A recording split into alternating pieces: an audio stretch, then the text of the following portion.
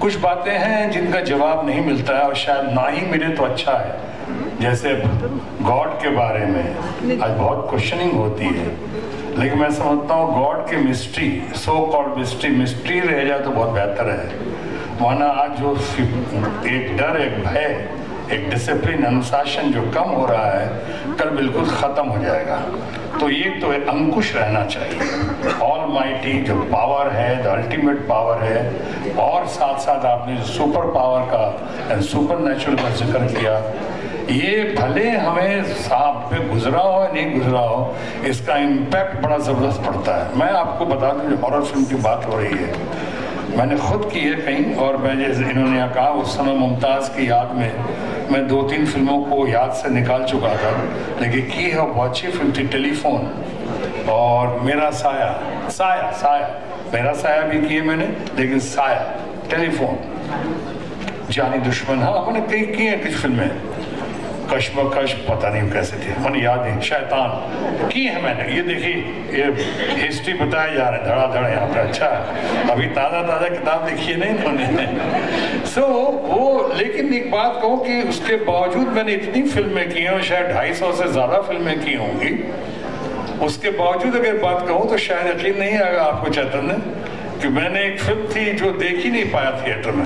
जबकि मैं जानता हूँ इसमें इफ़ेक्ट क्या होता है साउंड इफ़ेक्ट क्या होता है, कैसे इसके कट्स होते हैं लाइटिंग कैसे होती है, क्या मेकअप होता है, सारा मैं समझता हूँ। और हर फ़िल्म उस तरह से देखता हूँ। एक एफ़ का ग्रेजुएट होने के नाते भी ऐसे भी इतनी फ़िल्में की उसके बावजूद। लेकिन मिलाप फ़िल्म की तो बहुत सारी फ़िल्में की मैंने। लेकिन मैं उस फ़िल्म में एक फ़िल्म को देख ही नहीं पाया। इतना इफ़ेक्ट हुआ मेरे ऊपर, इतना इम्पैक्ट हुआ। डर भी लगा। मुझ जैसे आदमी को डर लगा और आज तक नहीं देख पाया हूँ। वो फ़िल्म थी राम गोपाल वर्मा की भूत। भूत। मैं जान रहा था कि सारी बातें सत्य नहीं है। मैं जान रहा था कि गुड्डे का और गुड़िया का हिलना जो है, अभी कोई मामला होगा यहाँ पे। शॉर्ट डिवीज़न क्या होता मैं समझ रहा था। बट मैं थिएटर में बैठ के कई जगह सीन पे आँखों पे हाथ रखा, मैं नीचे देखता रहा, नहीं देख पाया, और अल्टीमेटली थिएटर से उठ कर बाहर आ गया। इतना इम्पैक्ट हुआ।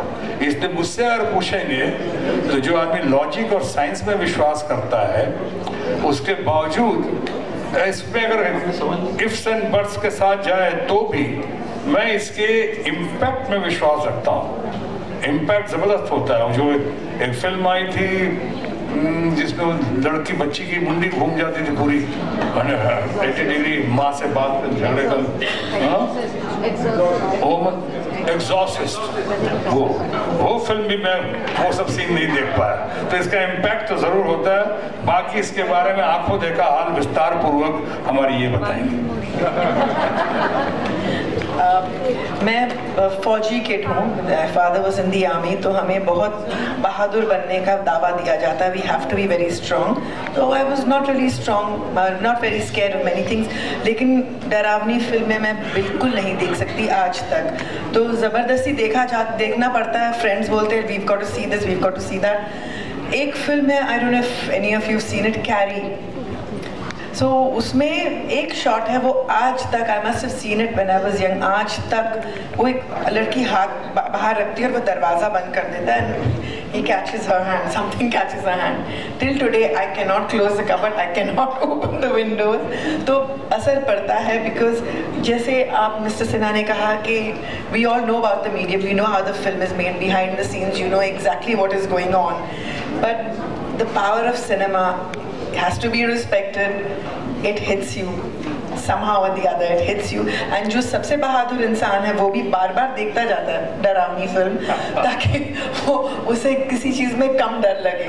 बट एक पैशन होता है डर पता नहीं क्यों I don't understand it but I look at it in awe and it something I don't forget